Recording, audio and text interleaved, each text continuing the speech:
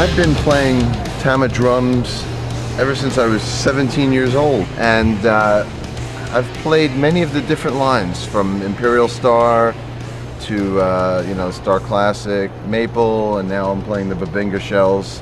And um, to me, it's it's the most richest sounding Tama drum I've ever played. I mean, it's uh, really the top of the line. They have the perfect combination of what I want out of a drum, which is attack, but you also want them to sing with tone. And um, the Bubingas really have the best of both worlds. So, uh, you know, throughout all of the different drum lines I've played with Tama, I think I'm uh, happier than ever with, with the Bubingas. My previous kit was uh, the Tama Star Classic Mirage drums, which are acrylic drums. And to be honest, the acrylic drums, more than anything, just looked awesome, you know. It's, it's still an amazing looking kit on the stage. But in the studio, I really wanted um, some good old fashioned wood to beat up. So uh, that's when I started looking for, uh, you know, some different wooden shells. And when, when Dream Theater was making our latest album, actually Tama sent me a Bubinga kit and a Birch Bubinga kit. And on our latest album, um, I actually mixed up the two kits. So some songs are on one kit, some songs are on the other. And uh, I love them both for different reasons. But when it came uh, came to putting together a new touring kit, I, I ultimately chose full Bubinga kit.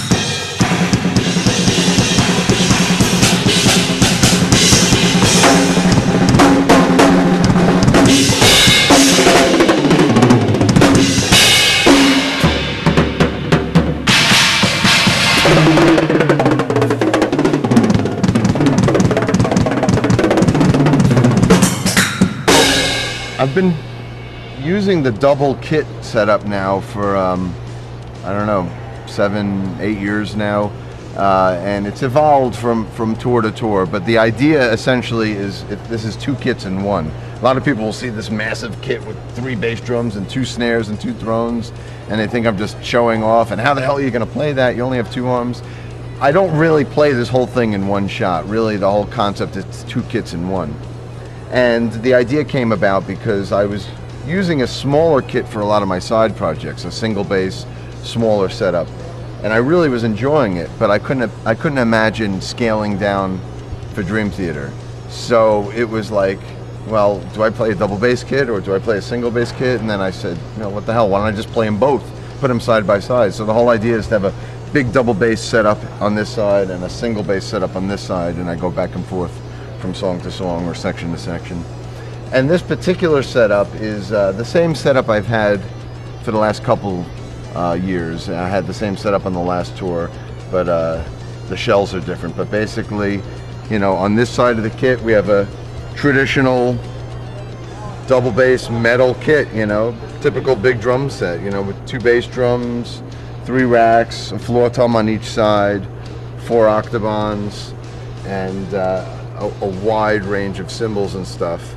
So uh, that's you know the left side, and then the right side of the kit is a little bit more experimental, a little different. A smaller bass drum, single bass drum with a double pedal, a smaller size kick, you know, a gong bass drum, two octobans, um, a single-headed tom. So really, there's no traditional toms on this kit. This floor tom from the left side of the kit kind of doubles for both kits, as does this hi-hat. This hi-hat is my main hat for the right kit and my X hat for the left kit. A lot of these cymbals right up here are kind of double for both kits.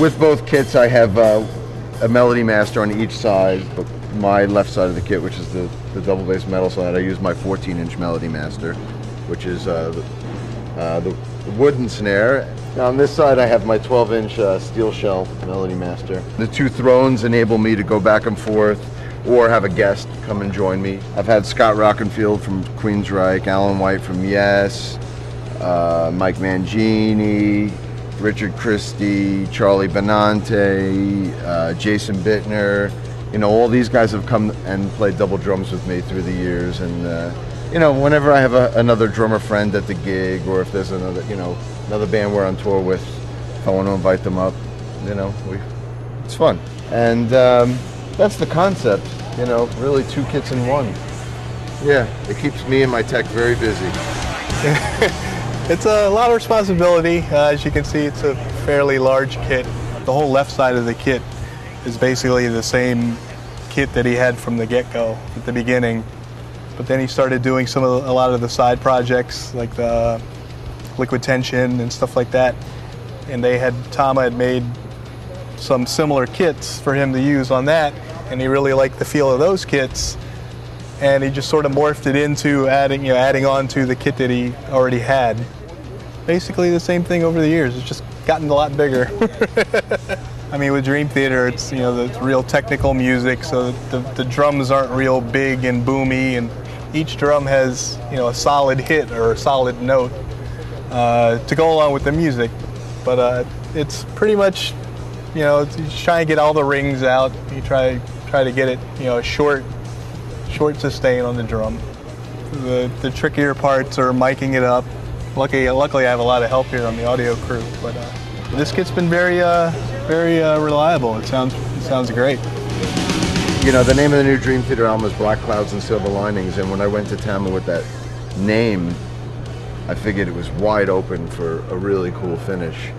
And uh, they showed me a few different things, but this was a finish that they were working on, which really was perfect. The black and silver sparkle streaks, and uh, you know, our whole stage setup on this tour. You know, we have clouds painted onto the amps and uh, cloud backdrops, and basically everything on the stage is black and silver. So uh, this finish was a perfect finish for uh, the kit to be using on this tour.